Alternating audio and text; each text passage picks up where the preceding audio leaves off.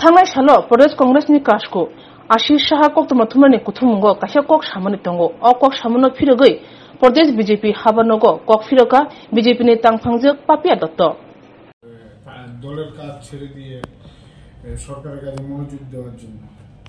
দেখুন রাজ্যের যিনি মাননীয় মুখ্যমন্ত্রী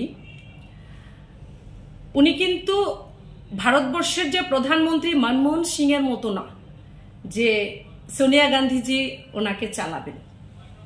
বা আমরা যদি জোট রাজত্বটা দেখি, জোট আমলটা দেখি eighty eight to ninety three প্রথম মুখ্যমন্ত্রী যিনি জোট আমলের ছিলেন, আমরা কি দেখেছি বা আমরা কি শুনেছি যারা আজকের প্রজন্ম? যে জোট রাজত্বের প্রথম মুখ্যমন্ত্রী একদিকে ছুটেছেন আর অন্যদিকে কংগ্রেস ভবন থেকে ওনাকে কীভাবে সরানো যায়? তার জন্য ব্লুপ্রিন্ট রচনা এবং তার পরিণামে আমরা কি দেখেছি? সংগঠন, প্রশাসন যখন দুই মুখে ছুটেছে জোট আমলে, আমরা তার পরিণাম দেখেছি রাজ্যে। মাফিয়ারাজ সমাজদ্রোহীদের দৌরাত্ম, মহিলা নির্যাতন, উজান ময়দানের মতো ঘটনা, হাজার হাজার আক্রমণ, অনেক কর্মীর হত্যা, সিপিএম কর্মীরা, শুধুমাত্র কংগ্রেস কর্মীরাই যে অনেক বেশি বলিদান কংগ্রেস কর্মীরা দিয়েছেন, অনেক বেশি। কিন্তু কিছু সিপিএম কর্মীরাও কিন্তু এই রাজ্যে বলিদান তাদেরকেও দিতে হয়েছিল সে জোট আমলের সময়। তো উনি এরকম মুখ্যমন্ত্রী তো এটা ভারতীয় জনতা পার্টির মুখ্যমন্ত্রী। ভারতবর্ষের প্রধানমন্ত্রী, এটা ভারতীয় জনতা পার্টি, এটা বুঝতে হবে। তো আমরা দেখুন, আজ রাজ্যের মুখ্যমন্ত্রী বলে নন। আমরা ভারতবর্ষের প্রধানমন্ত্রীকেও দেখি, উনি প্রশাসনের প্রধান চেহারা যিনি ভারতবর্ষের। একদিকে যেমন দক্ষতার সঙ্গে ভারতবর্ষকে পরিচালনা করছেন, অন্যদিকে আমরা দেখি আমরা গর্বিত বা অ্যাজ এ মানে একজন কার- কার্যকর্তা হিসেবে আমরা বলি যে প্রধানমন্ত্রীকে দেখে অনেক কিছু শেখা উচিত আমাদের। যখন যখন সংগঠন ডাকে, এমনকি কার্যকারিণী বৈঠক যখন আমাদের হয়, আমরা দেখি প্রধানমন্ত্রী তিন দিন, চার দিন উনি বসে থাকেন এক জায়গায়। ঠিক একই ছায়া আমরা কিন্তু রাজ্যের মুখ্যমন্ত্রীর মধ্যে আমরা দেখতে পাই। দক্ষ প্রশাসক হিসেবে উনি প্রশাসন চালাচ্ছেন, অনেক অভাবনীয়, অকল্পনীয় সিদ্ধান্ত উনি নিয়েছেন, নিয়ে যাচ্ছেন, বাজেটও আপনারা দেখেছেন পিআরটিসিকে বাধ্যতামূলক করে, এরকম এগুলো আর নতুন করে বলার কিছু নয়। ঠিক একইভাবে আমরা গর্বিত যে যখন আমরা ডাকি, সংগঠনের জন্য আমাদের মুখ্যমন্ত্রী ছুটে আসেন। আমাদের চেহারা, আমাদের মুখ্যমন্ত্রী, আমাদের চেহারা, আমাদের প্রদেশ সভাপতি, আমরা কিছুদিন আগে দেখলাম মল্লিকার্জুন খার্গে, এটা বলতেই হবে, মল্লিকার্জুন খার্গে যিনি প্রেসিডেন্ট, ন্যাশনাল প্রেসিডেন্ট, উনাকে কে পরিচালনা করছেন বলার আর অপেক্ষা রাখে না। উনি রাজস্থানে গেছেন, কংগ্রেসের একটি প্রোগ্রামে। দেখা যাচ্ছে যিনি সোনিয়া গান্ধীজি, যার কোনো রকম এখন দায়িত্ব নেই কংগ্রেসের মধ্যে। ওনাকে আগে বরণ করা হচ্ছে ওনাকে চেহারা বানানো হচ্ছে, উনি মল্লিকার্জুন খার্গে আজ ন্যাশনাল প্রেসিডেন্ট, কিন্তু কংগ্রেসের প্রধান চেহারা কাকে মানা হয় আজও রাহুল গান্ধীকে। কিন্তু আজ দেখুন, ভারতীয় জনতা পার্টি বলে সম্ভব। একদিকে সংগঠনের জন্য মুখ্যমন্ত্রী যাচ্ছেন নর্থে, আরেকদিকে প্রদেশ সভাপতি প্রবাস করছেন ঊনকোটিতে মুখ্যমন্ত্রী যাচ্ছেন পিলাক জেলায়, প্রদেশ সভাপতি যাচ্ছেন খোয়াই জেলায়। একদিকে মুখ্যমন্ত্রী প্রশাসনও চালাচ্ছেন, সংগঠনের জন্য উনি সময় দিচ্ছেন। তো এটা ভারতীয় জনতা পার্টির মধ্যে আমরা বিশ্বাস করি যে সংগঠন এবং প্রশাসন আমরা দুই মুখে হাঁটলে চলবে না। যেটা প্রয়োজন, সমন্বয়, আমরা সমন্বয়ের মধ্যে থেকে আমরা কাজ করি।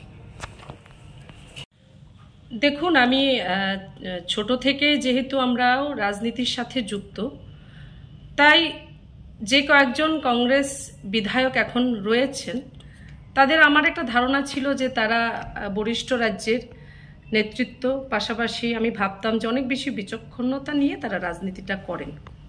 কিন্তু দু হাজার নির্বাচনের আগে এবং পরবর্তী সময় বিশেষভাবে কংগ্রেসের দুজন বিধায়ক যিনি রয়েছেন, যারা রয়েছেন মান- মাননীয় প্রদেশ সভাপতি প্রদেশ কংগ্রেসের এবং আরেকজন বিধায়ক, তারা যে বিবৃতি দিয়ে যাচ্ছেন এবং যে আচরণ তাদের আমরা দেখতে পাচ্ছি, সারা রাজ্য নয়, সারা ভারত এবার দেখেছে, তাদের বিচক্ষণতা নিয়ে এখন কিন্তু মানুষ অনেকটা সন্দেহ প্রকাশ করছে। প্রথমত, দেখুন, সাত জুলাই, এটা নিয়ে আর বেশি বলার প্রয়োজনীয়তা নেই, আপনারা প্রত্যেকেই জানেন, আমরা দেখেছি পবিত্র বিধানসভার মধ্যে কি হয়েছে। আসলে উনি উপলব্ধি করতে পারছেন না কেন আমি জানি না। যে গঙ্গা জলের নামে যে কোনো জলে উনি নিয়ে এসেছেন, হয়তো যে কোনো জল হতে পারে। গঙ্গা জল নিয়ে দৌড় দিলেই সরকারে, সরকার আনা যায় না। যেরকম ন্যায়দণ্ড নিয়ে দৌড়িয়ে সরকার আনা যায়নি। লাইমলাইটে থাকার জন্য হাতে ব্যান্ডেজ করে একটা মানে যে নাটক মঞ্চস্থ করা, যেটা অতীতে দেখেছি কয়েকবার, ওগুলো করে যেরকম সরকার আনা যায়নি তো এটা বোঝা উচিত ছিল গঙ্গা জল নিয়ে প্রবেশ করার আগে। তো যাই হোক, মাননীয় প্রদেশ সভাপতি, কংগ্রেস, দেখুন ওনার যে স্টেটমেন্ট গত পরশু না, গতকাল হয়তো উনি দিয়েছেন আপনাদের সাংবাদিক বন্ধুদের সামনে ওনার স্টেটমেন্টটা কিন্তু কীরকম একটা পরস্পর বিরোধী কন্ট্রাডিক্টরি একটা স্টেটমেন্ট ছিল। উনি প্রথম বললেন যে, কারা জয়েন করলেন? আমরা তো দেখলামই না। অ্যাকচুয়ালি মানে উনি বোঝাতে চাইছিলেন প্রথম, যোগদানটা সেটা হয়নি। যোগদান হয়নি, কেউ আসেননি ভারতীয় জনতা পার্টিতে। তার পরবর্তী সময় উনি নিজেই বলছেন যে জোর করে আনা হচ্ছে যোগদানের জন্য। এবং যারা যোগদান করছেন, তাদেরকেও অপমান করছেন। যারা একদিন তাদের হাত ধরে কংগ্রেস করেছেন, তাদেরকে উনি বলছেন, এখন তারা নাকি নেশা কারোবারি সমাজদ্রোহী। মানে আজ তাদের সাথে নিয়ে তাদের ছেড়ে চলে আসছেন, তাই তারা আজ সমাজদ্রোহী। তো একটা জায়গায় তো স্থির থাকতে হবে। প্রথম বলছেন, যোগদানটা কারা করলেন দেখিনি। আবার বলছেন, জোর করে আনা হয়েছে। এটা প্রপার্টি নয়। মানুষের মন, মানুষের বিশ্বাস, মানুষের আস্থা, এটা জোর করে আনা যায় না। আর আরেকটা আমি বিষয় আমি এখানে রাখতে চাই উনি প্রদেশ সভাপতি হওয়ার পর একটা মেসেজ উনি রেখেছেন যে যারা অসন্তুষ্ট ভারতীয় জনতা পার্টির মধ্যে, তারা যেন কংগ্রেসে চলে যান। আমি প্রদেশ সভাপতি, কংগ্রেসের ওনাকে সরাসরি প্রশ্ন করতে চাই, কোন কংগ্রেসের কথা আপনারা বলছেন? সেই কংগ্রেস, যে কংগ্রেস লাখ লাখ মানুষের ইচ্ছে ভাবনাকে পদদলিত করে সিপিএম এর সঙ্গে জোট করেছে সে কংগ্রেস, নাকি ষাটের মধ্যে তেরোতে যারা সন্তুষ্ট থাকে সে কংগ্রেস? ষাটের মধ্যে তেরো মানে আমি জিতলেই হবে, বাকি আমার দল সেটা জাহান্নামে যাক। এই ভাবনা নিয়ে যারা কংগ্রেস করেন, আপনাদের ডাকে আর কেউ ফিরবেন না বলে আমি বিশ্বাস করি। আমি এতটুকুই বলব যে অসন্তুষ্ট যে শব্দটা উনি প্রয়োগ করেছেন ভারতীয় জনতা পার্টির মধ্যে অসন্তুষ্টির কোনো জায়গা নেই, যার জন্যই কিন্তু আমরা আজ দুই থেকে তিনশো তিনে আমরা এসেছি। আর আপনার দোষ নেই, আমার প্রদেশ সভাপতি, কংগ্রেসের দোষ নেই, এটা তাদের সর্বভারতীয় ক্ষেত্রে সমস্যা। এই যে না দিতে পেরেছেন তারা তাদের দলকে স্থিরতা, না দিতে পেরেছেন নিজেদের স্থিরতা।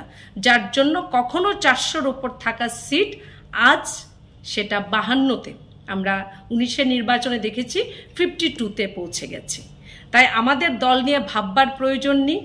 কংগ্রেস নিয়ে ভাবলে আমার মনে হয় ভালো হবে, যেহেতু উনি কংগ্রেস প্রেসিডেন্ট। আরও একটু ভাববার প্রয়োজনীয়তা আছে, কারণ আমি লক্ষ্য করছি উনি প্রেসিডেন্ট হওয়ার পর বিশেষভাবে। যারা কয়েকজন হয়তো গিয়েছেন, কখনো কংগ্রেস করছেন, সেটা কিন্তু তছনছ হয়ে কিন্তু ভেঙে যাচ্ছে। তাই ফ্রাস্ট্রেশনে এরকম কিছু স্টেটমেন্ট রাখা উচিত নয়, যার জন্য প্রশ্নের সম্মুখীন ওনাকে হতে হবে। উনি মুখ্যমন্ত্রী